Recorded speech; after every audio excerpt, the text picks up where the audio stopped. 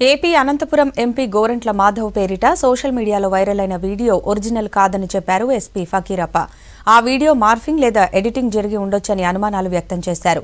Video social మీడియాలో viral కావడానికి ముందు ఐదుగురు వ్యక్తులు ఫార్వర్డ్ చేశారని చెప్పారు. వీడియో ఒరిజినలా కాదా తేలితేనే చర్యలు తీసుకునే అవకాశం ఉందన్నారు.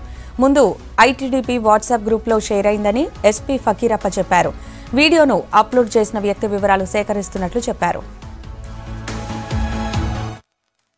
ఐటీడీపీ అఫీషియల్ అనే ఒక వాట్సాప్ గ్రూపులో నాలుగవ తేదీ మధ్యరాత్రి రెండు గంటలు ఏడు నిమిషాలకు మొట్టమొదటిసారిగా ఈ వీడియోని plus four four seven double four three seven zero three nine six eight అంటే యూకే యునైటెడ్ కింగ్డమ్ రిజిస్ట్రేషన్ ఉన్న ఒక నంబర్తో ఈ వీడియోని అక్కడ ఆ గ్రూప్లో పోస్ట్ చేయడం జరుగుతుంది.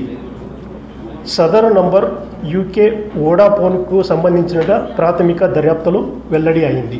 సో ఏ వీడియో అయినా సోషల్ మీడియాలో వైరల్ అవుతున్న కొద్దీ మనం ఏం చేస్తున్నామంటే ఆ వీడియోని బ్యాక్వర్డ్ లింకేజ్ అంటే ఎవరి నుంచి ఎవరికి ఫార్వర్డ్ అయింది అనే ఒక బ్యాక్వర్డ్ లింకేజ్ బ్యాక్ ట్రాకింగ్ ద్వారా మనం దర్యాప్తు కొనసాగే క్రమంలో మొదటిగా ఈ నంబరు ఎక్కడ ఒరిజినేట్ అయిందని చూసే కొద్దీ యునైటెడ్ కింగ్డమ్కి సంబంధించిన ఈ నంబరు ఓడాఫోన్ కంపెనీకి సంబంధించిన భాగంగా దర్యాప్తు కొనసాగుతుంది. ఇప్పుడు చెప్పేది ఏమంటే సోషల్ మీడియాలో వైరల్ అవుతున్న వీడియో ఒరిజినల్ కాదు. ఒక వ్యక్తి రికార్డ్ చేసిన వీడియోని ఇంకొకరికి పంపించి ఆ వ్యక్తి తన మొబైల్లో చూస్తున్నప్పుడు మరో వ్యక్తి ఆయన మొబైల్ ఫోన్లోని వీడియోను చిత్రీకరించి ఆ వీడియోను వైరల్ చేయడం అయినది.